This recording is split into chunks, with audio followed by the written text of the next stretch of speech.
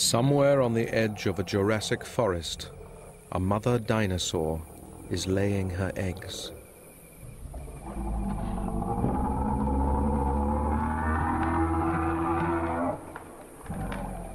She is a 25-ton Diplodocus.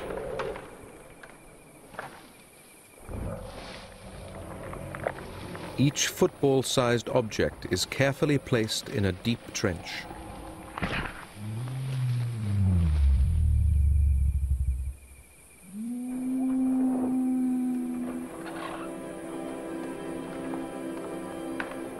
Tenderly she buries her clutch and then abandons them to their fate.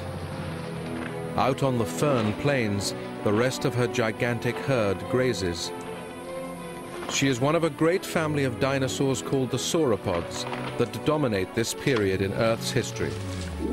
They are the largest animals that will ever walk the planet.